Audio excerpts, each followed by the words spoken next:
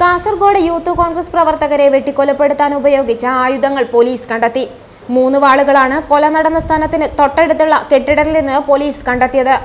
അഞ്ചാം പ്രതി അനിൽകുമാറിനെയും ഏഴാം പ്രതി ഗിജിനെയുമാണ് പോലീസ് തെളിവെടുപ്പിന് കൊണ്ടുവന്നത്.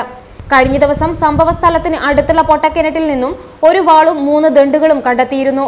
ഇതിന് സമീപമുള്ള കെട്ടിടത്തിൽ നിന്നാണ് മൂന്ന് വാളുകൾ പോലീസ് കണ്ടെടുത്തത്. ഇതിൽ രണ്ട് വാളുകൾ കൃത്യം നടത്താൻ ഉപയോഗിച്ചതാണ്. മൂന്നാമത്തെ വാൾ കൊലയ്ക്ക് ഉപയോഗിച്ചിട്ടില്ലെന്ന് പ്രതികൾ പോലീസിനോട് പറഞ്ഞു.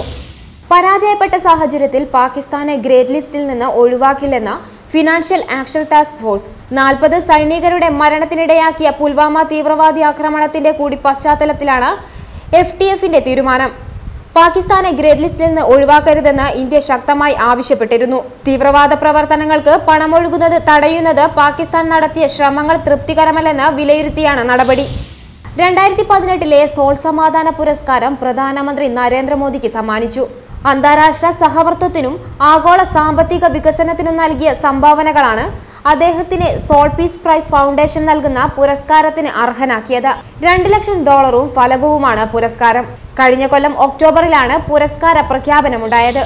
പുൽവാമയിൽ നാൽപ്പത് സി ആർ പി എഫ് ജവാന്മാരുടെ മരണത്തിനിടയാക്കിയ ഭീകരാക്രമണത്തെ അപലപിച്ച് ഐക്യരാഷ്ട്രസഭ രക്ഷാസമിതി. ആക്രമണത്തെ അപലപിക്കുന്ന പ്രമേയത്തെ സമിതി ഒറ്റക്കെട്ടായി പിന്തുണച്ചു. പാക് ഭീകര സംഘടനയായ ജെയ്ഷ മുഹമ്മദിന്റെ പേര് എടുത്തു പറഞ്ഞുള്ള പ്രമേയമാണ് സുരക്ഷാ സമിതി പാസാക്കിയത്. ഫ്രാൻസാണ് പ്രമേയത്തിന് മുൻകൈയെടുത്തത്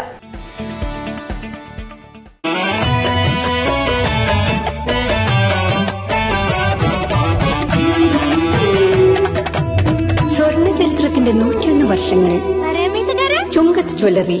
അനുഭവം അതാണ് സത്യം.